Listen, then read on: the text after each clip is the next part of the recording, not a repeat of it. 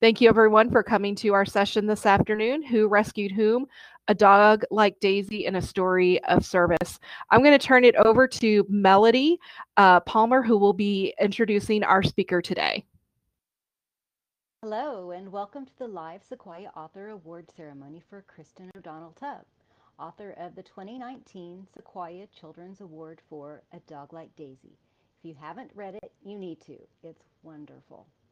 Kristin writes a variety of books, including children's historical fiction about a family who lives in the New York Public Library and YA, a mytho- mythological fantasy about what would happen if there suddenly was a 13th zodiac sign.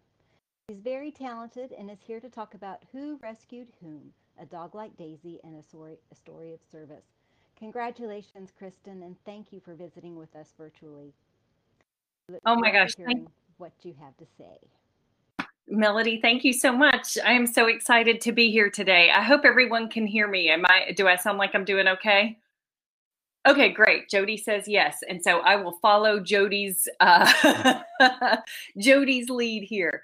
Um, thank you guys so much for coming. And I really, really appreciate how amazing um, librarians and educators of all kinds are being able to pivot on a dime and uh, being able to post things uh, for us all to share in this um, ceremony and this conference together. So I am so excited to be here today and to be a part of your online festivities and to talk a little bit about a dog like Daisy and where the inspiration came from.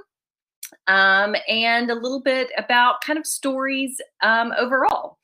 So I just kind of wanted to start because the idea of who rescued whom, that's kind of an old idea for those who are familiar with dog rescue. Um, there's a saying among people who rescue dogs that says, who rescued whom? And of course, that means um, that dogs rescue their humans as much as humans rescue their dogs. And rescue is, of course, a big theme throughout A Dog Like Daisy. But I also kind of want to touch on the fact that this story really means uh, to me, it's also an idea of Daisy rescuing me, the author. So, um, spoiler alert: Daisy rescues me in the um, in the end of this this particular story. So, I wanted to kind of touch on the idea of rescue and stories today. So, flashing backwards to 2015 and see these gloomy skies, um, I just I was becoming pretty cynical um, when I was uh, writing back then. It felt like the world was becoming less and less empathetic to me, and no matter how hard the artists that I knew were trying to share stories with the world that would grow understanding and grow empathy and grow seeds of unity it just it felt very um, difficult to be able to do that. So honestly um, 2015 i was starting to kind of lose hope in what i thought stories might be able to accomplish. So i was really um, found, floundering a little bit and trying to find my way through the dark skies Um, but writers, of course, they can't. We can't turn off that "what if" part of our brains. So one bright day that same year, so this is 2015, one of my neighbors texted me, and she said, "Can I please bring Louie up to play with Lucky in your fenced-in yard?" So. Um, these are pictures that I just so happened to take that day. That's Louie being really goofy up there mm-hmm. in the upper left hand corner and he is a great he was a great dane puppy still is a huge great dane dog. And so she texted and said can i please bring louis up to play with lucky in your yard? And i said sure you know bring him on up. So louis and lucky played and our neighbors me and my neighbor kind of watched on. And um, she just in passing said you know the breeder that we bought Louis from, he actually also trains dogs to become service dogs for veterans with PTSD. And it was a big huh moment for me. And so, okay, you guys, I'm really showing off my Photoshop skills with this screen. it's so terrible, but it really, it really was one of those huh moments. Um, I know that teachers like to call the moment when a student's eyes light up with understanding an aha moment. Writers have a very similar moment when they think of a story idea. Um, but instead of aha, I understand, it's more like, huh, I wonder. And I like to say that all good story ideas live inside those three little letters H U H, huh. So that day, my huh moment sounded like this Huh, I wonder how service dogs learn all the amazing things that they know.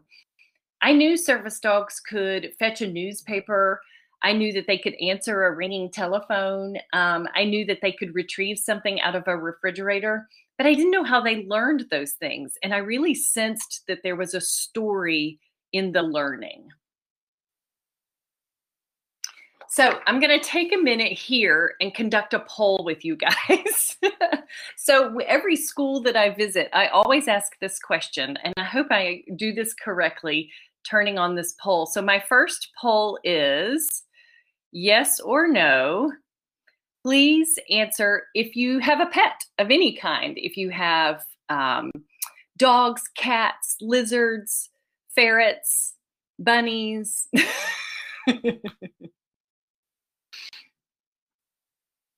Oh, this is so cool. It's really cool to watch this happen in uh, in live time.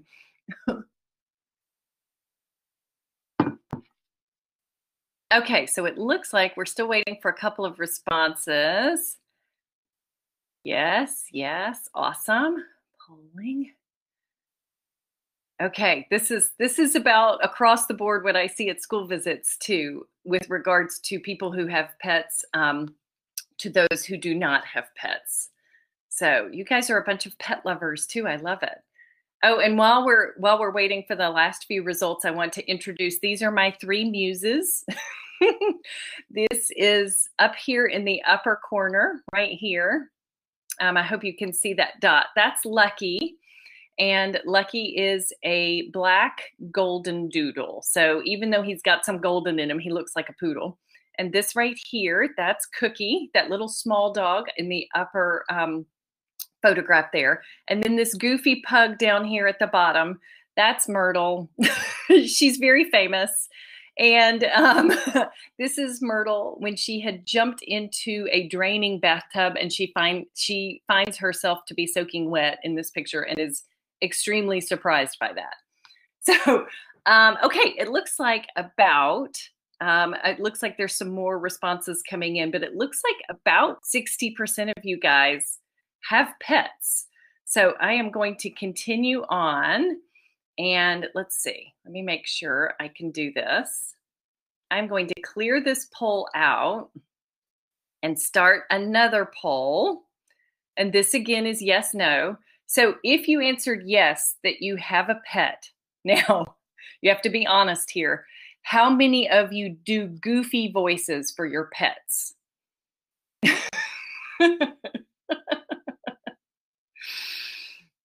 I love asking this question at school visits because kids jump up and start doing the goofy voices that they do for their pets. And it's just phenomenal. I really, I really love hearing all the goofy voices that kids do um, to voice their pets' uh, opinions and thoughts. So, um, across the board, when I ask this question at schools, it seems like about 80% of pet owners um, tend to also tend to also voice their pets. Like they, you know, a pet will walk in the room and they'll say, "Hello, good morning. I love to see you," and those kinds of things. So um, it seems like most people who own pets, and it looks like right now about forty percent of you do do go- goofy voices for your pets. I do as well. Um, and so the reason why I kind of ask this and why I go back to this and this, these particular goofy voices is that um, Lucky over here, the black golden doodle, um, he is 12 years old. And since he was just a couple of months old, we have done this goofy, like, hello, I love you voice for him. And we didn't realize it at the time, but I was kind of practicing writing a dog like Daisy. I had been doing dog voices for close to, gosh, eight or nine years by the time I got the idea for a dog like Daisy. So, those of you who love doing voices for your pets as well, you might be practicing auditioning for something like that, like an awesome pet story or, um, or uh, something like that, an animation, uh, something. So I really, I really do love doing um, goofy voices for pets. And so, but that whole time I was, I was practicing to write a dog like Daisy. Um, and so that was kind of a little bit of research. I like to think of those goofy pet voices as research. Oh, and just to go back to this slide right here for a second, like I said, these are my three muses Lucky, Cookie, and Myrtle. And when I do presentations like this or I have a phone call, I close them out because they bark all the time. And my agent recently, when I had a phone call with him, said, "Oh, you shouldn't. T- you shouldn't uh, shut those voices out of your life that's your that's who you listen to these days that's your bread and butter so i thought that was kind of funny that he um, also said no really you should listen to those dogs mm-hmm. um, so in addition to goofy pet voices i did lots of other types of research to write a dog like daisy um, one of the things that I did was I emailed a fellow writer who also happens to be a dog trainer. Her name is Debbie Emery and um, she's mentioned in the acknowledgments of a dog like Daisy. Um, but I emailed her and just said, Can you help me understand kind of how dog training works, where they begin, how they go through the process? And so she invited me to join her at a school where juveniles live who have maybe pushed the boundaries a little bit in life. And so they all live in a dorm together and they attend this special school together. Um, so all of these juveniles um, go to this school together. And um, this particular organization that Debbie volunteers for, they bring dogs once a week into these dorms um, for these to visit with these kids. And one of the dogs that they brought looked a lot like this dog here in this picture. And the, the dog's name was um, Gator, and Gator was a pit bull. And um, he looked what eventually became what looked like the dog on a cover of a dog like Daisy. And y'all, when they brought this big, goofy pit bull dog into this um, into this school, into this dorm, these kids, these teens, who were so aloof and kind of jaded and they tried to act really, really cool. They lost it around Gator. And it was just amazing to watch them just drop their their kind of facades and really just roll around on the floor with this dog and they scratched his belly and they kind of wrestled him a little bit and they cooed at him and they scratched him and it really just changed them. I watched this dog Gator change these kids and it was just fascinating. It was awesome. So, a little bit of my cynicism that I told you about um, melted that day about what dogs can do to really help us um, kind of become better people. So, I realized as I watched this massive friendly dog, Gator, that a pit bull is actually a perfect symbol of a veteran who's challenged by PTSD. Pit bulls are likely the world's most misunderstood dog breed. There are rumors that their massive jaws can lock shut, but they actually can't. And there are rumors that they are really very dangerous and kind of terrible with kids. But they were actually once called the family dog of choice in 19th century England. So pit bulls act how we train them to act. Our view of them becomes their reality. Their behavior lies in our expectations. So I know teachers can really relate to that idea with students. So I'm going to repeat that part. Their behavior lies in our expectations. So, like pit bulls, PTSD has been misunderstood for a very long time. And that's why Daisy became a pit bull. I thought it was the perfect representation of that. Um, another part of research that I did was with an organization called Southeastern Guide Dogs. They're also mentioned in the acknowledgments of a dog like Daisy. Um, I interviewed a trainer who works there. Her name is Katie Young. And Katie specializes in training dogs to assist veterans who have PTSD. And she, Katie endured literally hours and hours and hours over several days, really spanning a couple of months of, of my questions. So she was very, very patient with me. And to this day, because of that, a portion of all sales of a dog like Daisy benefit Southeastern Guide Dogs. Um, so that's their URL at the bottom there, guidedogs.org if you're interested in checking them out, I highly encourage it. You can even adopt a puppy and name the puppy as part of a donation. So that would be a wonderful birthday present or someone who really loves dogs. Just as a hint, they would really appreciate the support. Um, so, slowly, with all this research, Daisy started to become a very good service dog. And like a good service dog, Daisy has led me to places that I never dreamed a story would take me.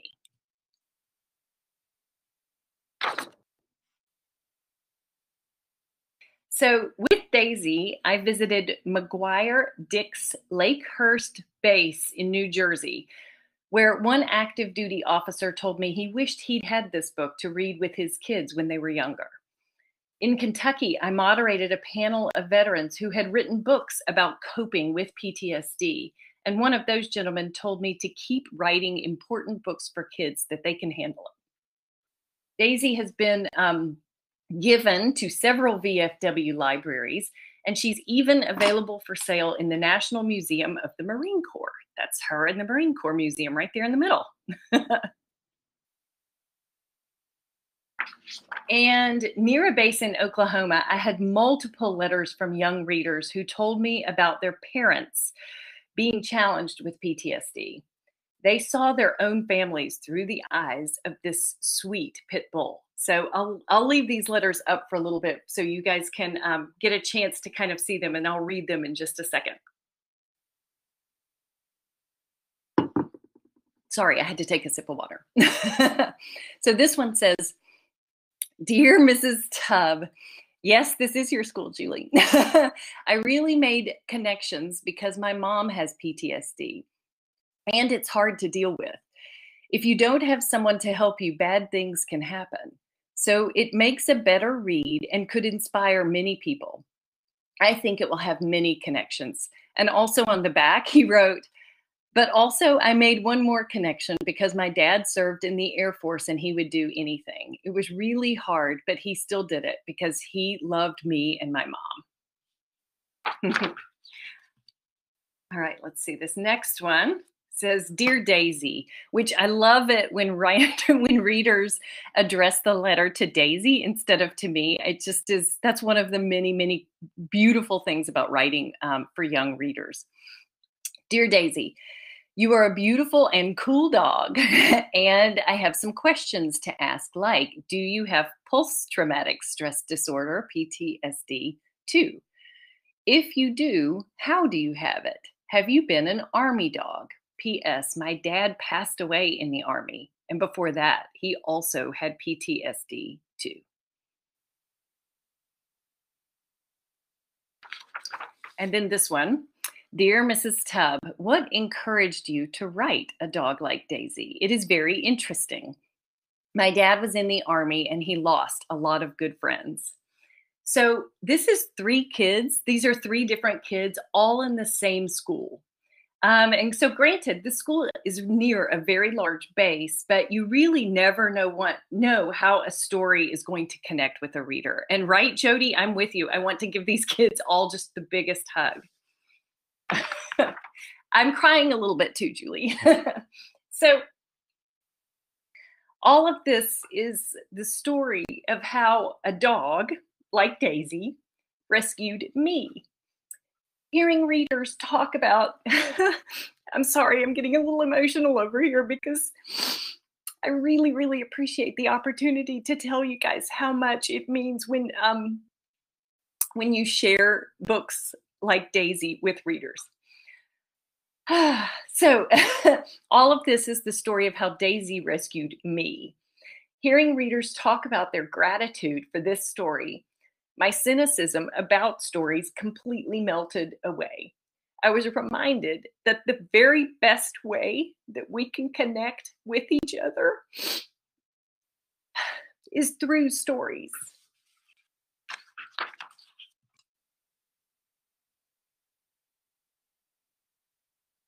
Okay. Whew. So today I'm here to remind you, in case you might also be feeling jaded or cynical, because let's be honest, 2020 has been one heck of a year, to please keep sharing stories. Children need books to feel less alone. They need stories to understand what they might have misunderstood. We need stories to connect and unite and to empathize. Nothing else is as effective as a story in doing this. You might keep, you must keep fighting to share stories that reflect all children, all children, because there is a story out there waiting to rescue a child. And sometimes only stories can do that.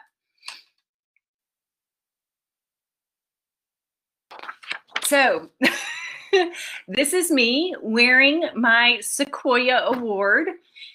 Um, they, uh, Melody and the wonderful folks at, um, oh, thank you guys. I appreciate all the hugs and the tears along with me.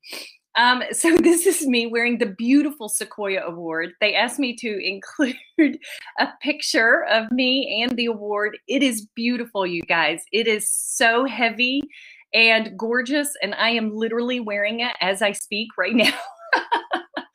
and I just love it. And so you can see I couldn't resist um, pretending like I was an Olympian there in the upper left hand corner, this one right here.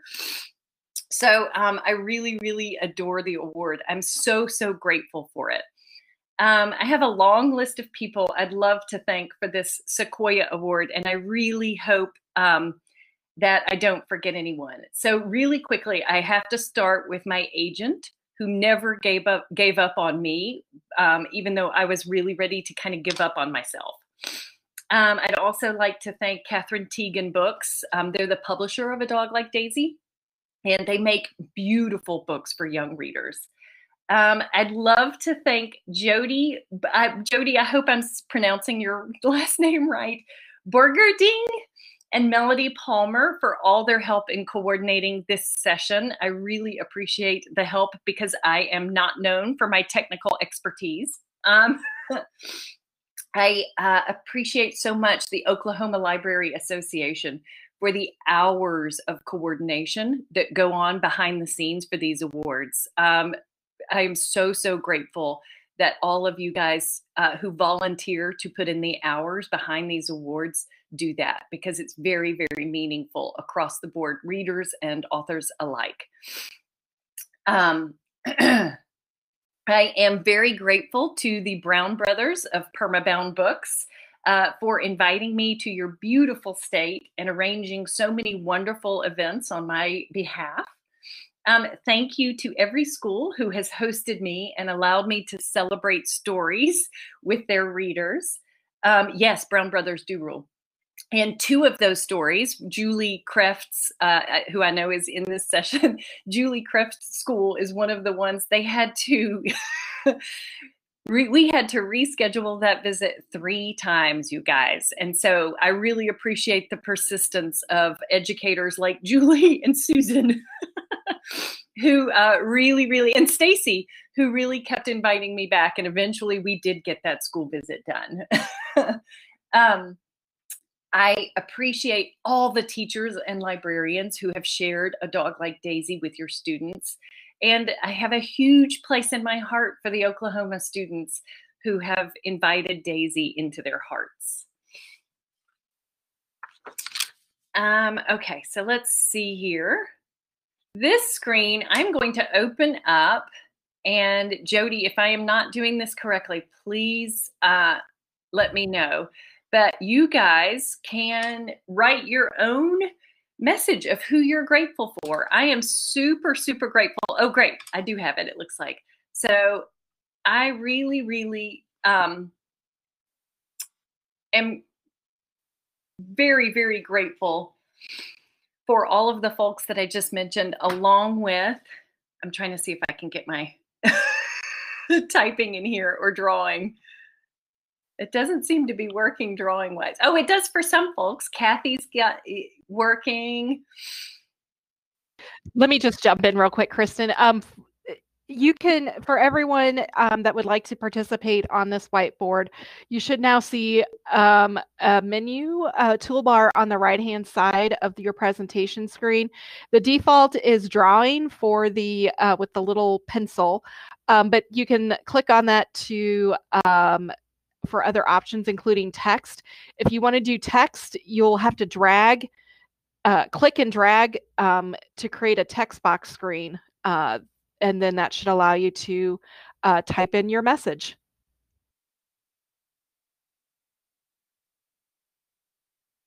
Well, I just confessed that I really do not have um, great tech skills. and I even uh, opened this, Jody, in a different browser. I came to, to this session in a different browser this time, but I am un, it doesn't appear to be working for me. So, but I am loving seeing all of these beautiful things that you guys are grateful for. Oklahoma libraries, my family, friends, and my eight dogs. Oh my goodness, that's amazing. I have three, and I think that's exhausting. Um, dogs and cats, yes. Oh, and I see someone up here is saying maybe waking up every day. yes, amen. Amen to that. Um, and dogs and cats and Harold.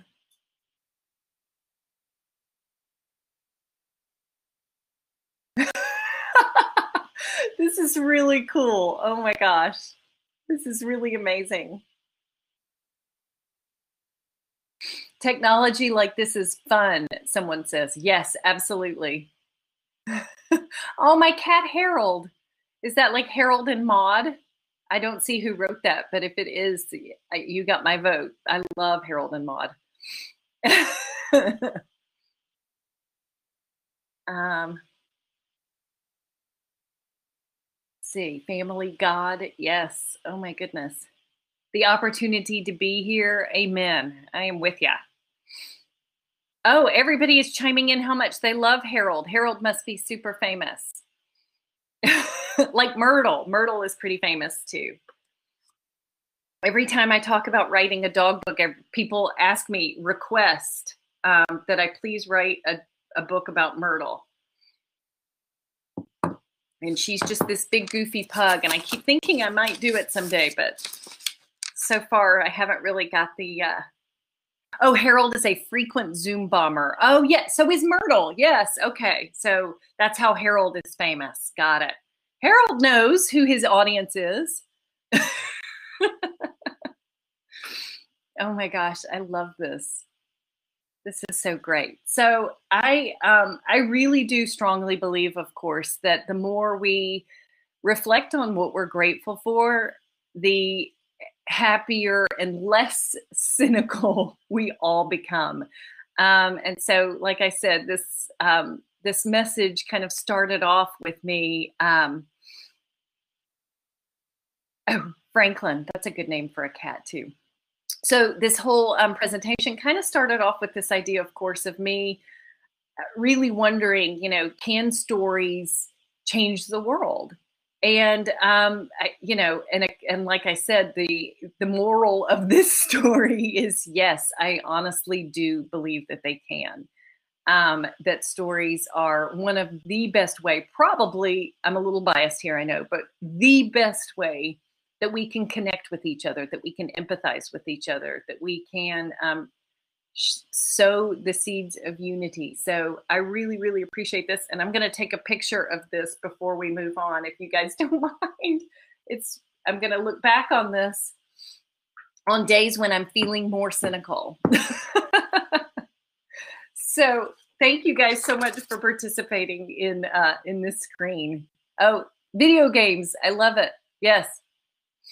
My um, my son would definitely agree with that one. It has really made the difference in our um, in our social distancing. We have had a lot of uh, video game nights here at the Tubb household.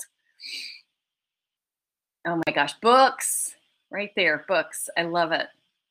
Okay, I'm going to switch to the next slide, but I hope I, I this is being recorded, so hopefully Jody will be able to access this later because it's really great.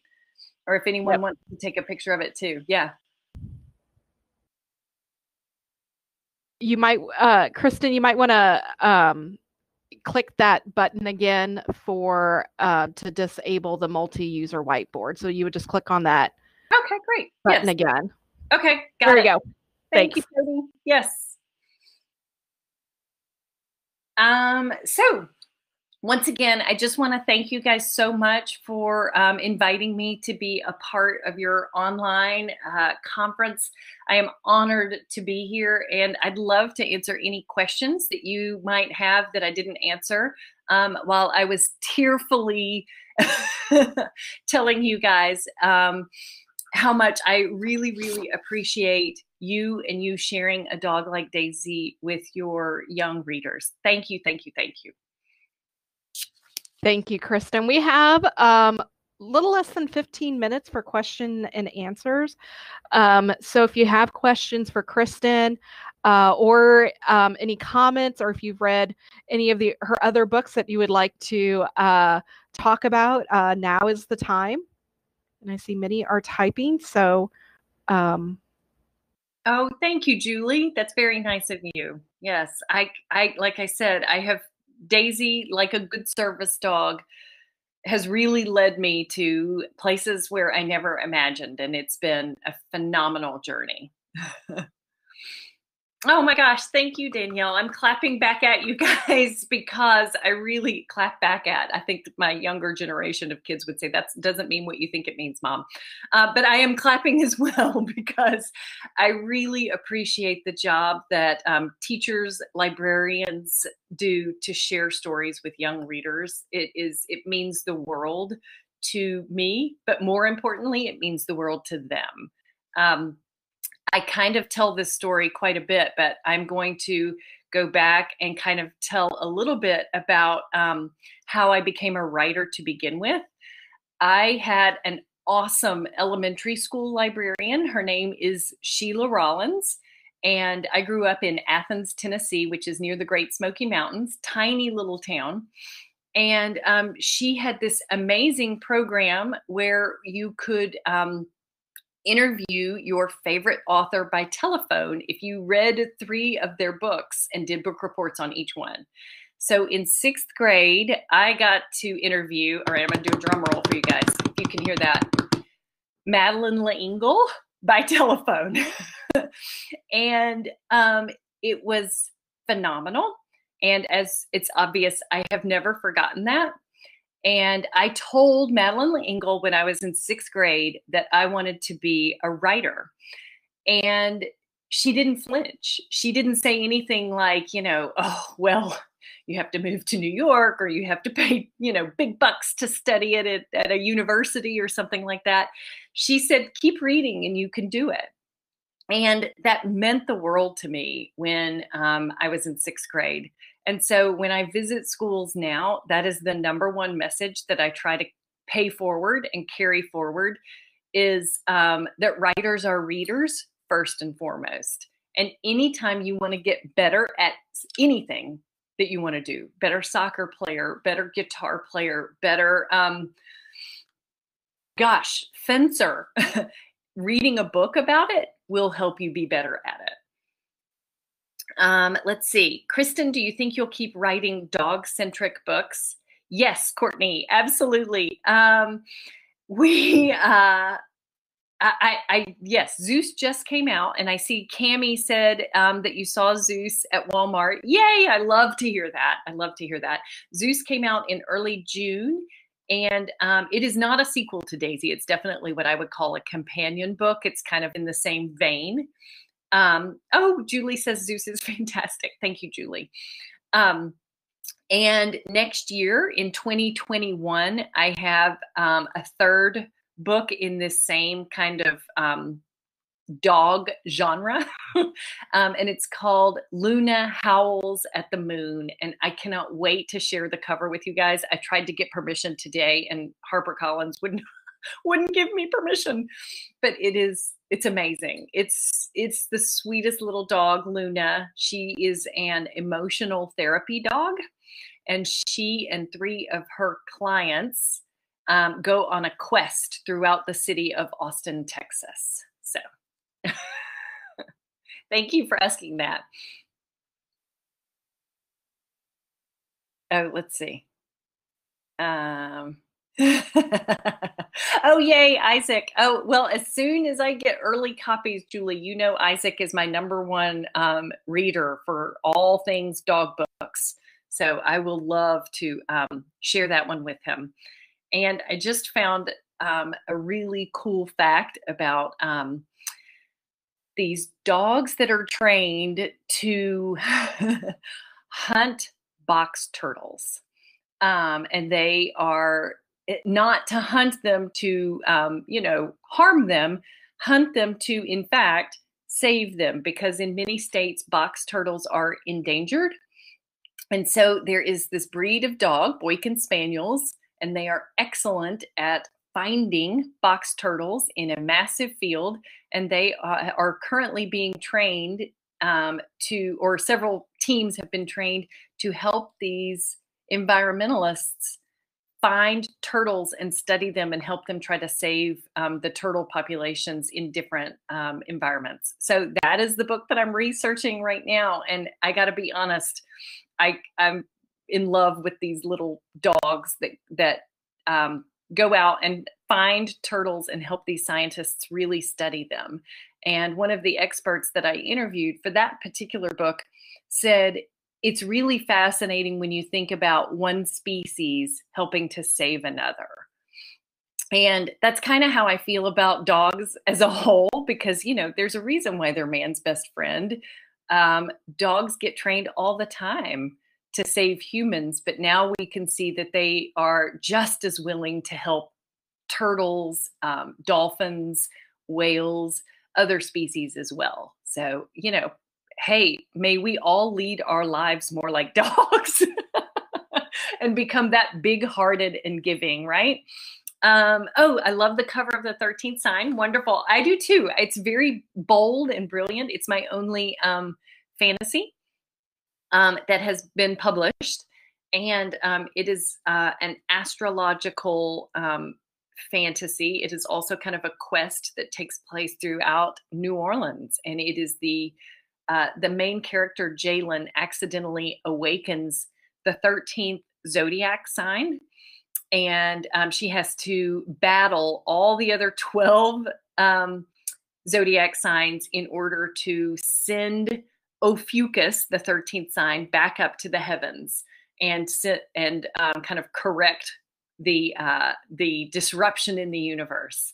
And I really I get a lot of readers who loved Percy Jackson and the, the series of those books because it is a Greek mythology um, adventure.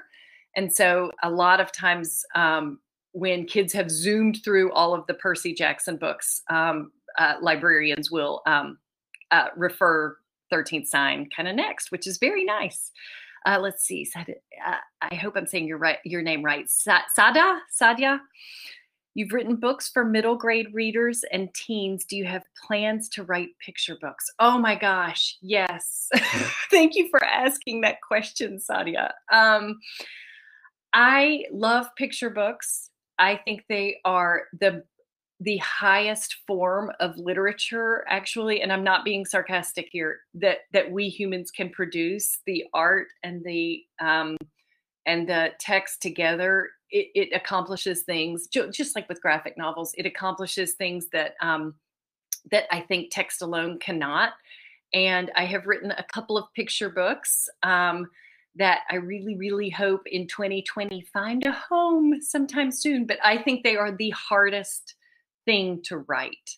um, because they are so spare and beautiful, and you have to be able to capture really an entire emotion in a, a short amount of time. So, yeah. Thank you for asking that. Oh, let's see here. Hold on. Okay. I'm trying still to have five minutes. So again, if you have any questions or comments for Kristin, there's still plenty of time to get those entered into the chat box. Yes, thank you, Jody. I um I was I, my screen was flashing something and I was trying to figure out what it meant. okay, yes, wonderful. Thank you. Let's see, public chat. Awesome. Um, so this year, I I think that possibly some of you are. Um, I know some of you are definitely school librarians. Um, I would assume that some of you are also public librarians. And I just want to say a huge thank you for everything that you guys have had to do very last minute um, in 2020. And um, it really has been a tremendous uh, oh melody has put if you're interested in serving on a Sequoyah committee applications are live now. And yes if you are interested in doing that please do sign up because it means the world like i said it means the world to authors but more importantly it means the world to readers. Um, but um, yes so i know this has been an extremely challenging year across the board for all of us. So thank you for all that you guys are doing to um, help keep readers engaged because I know it is um, has been an interesting challenge, and it appears that the fall will continue to be an interesting challenge. And I appreciate that it seems like nobody can rise to a challenge like educators and librarians. Like you guys know your business. so that is greatly, greatly appreciated.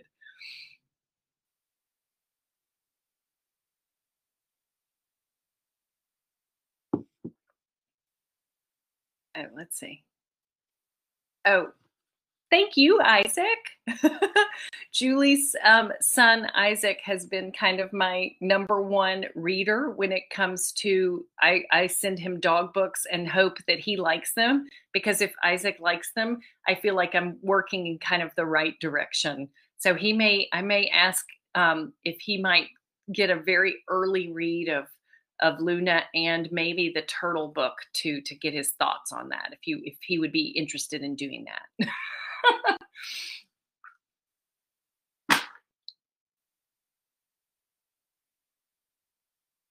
oh, and this year because of such an interesting because 2020 has been very interesting, the galleys and arcs of um, Luna are all going to be e-galleys so if you have an Edel, Edelweiss or NetGalley um, account and you would like an early copy of Luna, just email me and let me know that. Um, my email is uh, Kristin Tubb, all one word, at iCloud.com. You know what? I'll put it right here in the chat. That's my email. And my um, that's my website, kristintubb.com. And if you are interested in doing a virtual school visit this year, please do let me know. Um, like I said, I know that 2020 and probably into 2021 is going to look a little different. Um, but I do Skype visits. I've done Skype visits for years. And um, I'd be willing to work with you on kind of what you need because I know that it's it's going to look different this year. So um, I'd be definitely willing to work with you know if you're doing Zoom or if you're doing um, this wonderful platform, anything like that. So um, yeah, we probably need to work out the details of that. So yes. Um, I think that my time is quickly running out. Yeah, so, we've got uh, Court, what time for one question um, from Courtney? Uh, your work spans different narrative types. What was your most enjoyable book to write? Oh, Courtney, thank you. I did not hmm. see um, that question pop by. Um, so let's see. I, I, oh gosh, I write a lot of historical fiction. Let's see, John Clem, Story Seeker, Story Collector, Selling Hope, and Autumn are all historical fiction. 13th Sign is fantasy, and Daisy and Zeus are considered contemporary, um, even though they're told from a dog's point of view. Um, I gosh, I wouldn't be able to narrow it down. I think I really love uh, all kinds of narrative types, which is why I kind of write across um, different narrative types. I I obviously love dog books enough to just continue going with them, and I think that there are enough interesting dog stories in the world to continue doing that for a while. Um, but I'm a huge fan of teaching. Well, teaching is a word that I hesitate to use because my primary goal as a writer for young readers is to entertain them. But um, I, I love using history as a lens as to how people who say lived in 1928 are very similar to um, people who live in 2020 um, it's it's very uh, interesting to see that people still want um, the very best for their families, and they want the very best for their um, friends, and they want um, love, and they want um, to have fun and be entertained.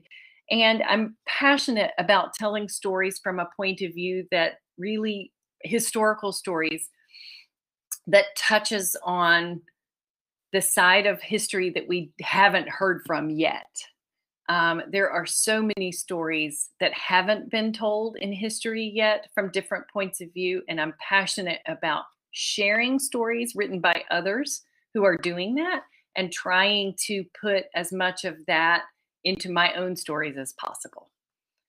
Um, so, thank you for asking that, Courtney. I appreciate that and um, yeah i think we're i think the clock has ticked down yes and i know you guys have other sessions that you probably are getting to today but again thank you thank you thank you for letting me be a part of your day and um, and again i'm just full of gratitude thank you you're welcome, Kristin. And thank you again for uh, coming today. Let's give Kristin a big uh, round of applause. Uh, I know hopefully she can hear me giving her applause right now. Um, this has been great. Again, the recording will be available later this afternoon.